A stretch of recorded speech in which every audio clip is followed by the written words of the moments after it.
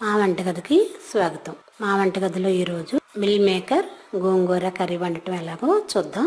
దానికి కావలసిన పదార్థాలు గోంగూర రెండు కట్టలు మిల్ మేకర్ ఒక కప్పు ఒక వంద గ్రాములు నూనె నాలుగు టేబుల్ స్పూన్లు జీలకర్ర ఒక పావు టీ స్పూన్ ఉల్లిపాయలు రెండు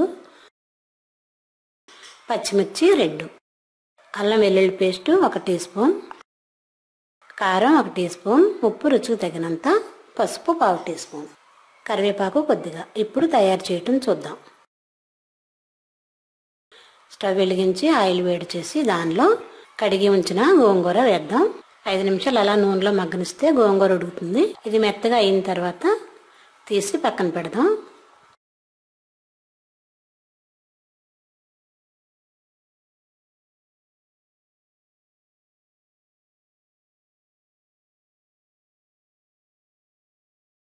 ఇప్పుడు స్టవ్ పై మళ్ళీ ఒక గిన్నెతో నీళ్ళు పెట్టి దాంట్లో మిల్ మేకర్ వేసి ఉడికించుకుందాం.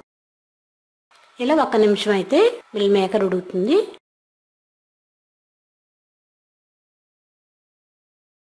నీళ్ళు పిండి ఒక ప్లేట్లో వేసుకొని వీటిని పక్కన పెడదాం.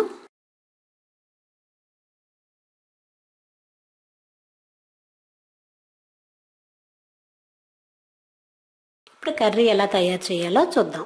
స్టవ్ వెలిగించి పాన్ పెట్టి మూడు టేబుల్ స్పూన్ల ఆయిల్ వేద్దాం. ఇది కాగిన తర్వాత దీనిలో మిల్లి మేకర్ వేసి వేయించుకుందాం.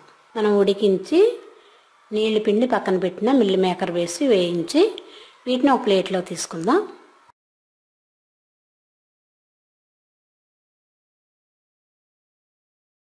ఇప్పుడు ఇదే ఆయిల్లో కొంచెం జీలకర్ర ఎండుమిర్చి కరివేపాకు కట్ సన్నగా కట్ చేసిన ఉల్లి పచ్చిమిర్చి ముక్కలు వేసి ఒకసారి కలిపి మూత పెడతాం. ఈ ఉల్లిపాయలు నూనెలో వేగుతాయి. ఇప్పుడు మూత తీసి చూద్దాం. ఉల్లి పచ్చిమిర్చి కూడా వేగాయి కాబట్టి దీనిలో ఒక టీ స్పూన్ అల్లం వెల్లుల్లి పేస్ట్ వేసి బాగా కలుపుదాం.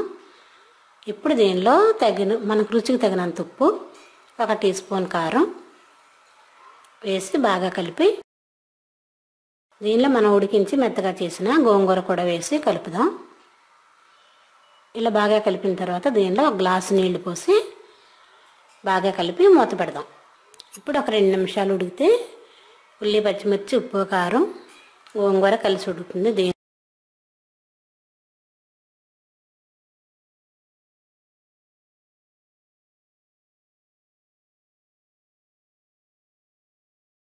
దీనిలో మనం ముందుగా ఉడికించి నీళ్ళు పిండి వేయించిన మిల్ మేకర్ కూడా వేసి బాగా కలిపి ఒక నిమిషం మూత పెడదాం.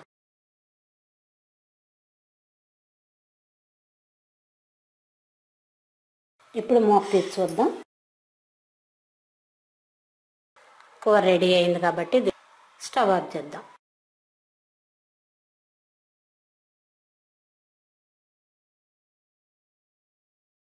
ఇలా రెడీ అయిన కర్రీని వేరే బౌల్లో తీసుకొని సర్వ్ చేద్దాం. ఎంతో రుచిగా ఉండే meal maker gongura curry ready. మరిన్ని వంటల కోసం మా వంటగదిని సబ్స్క్రైబ్ కాగలరు. ధన్యవాదములు.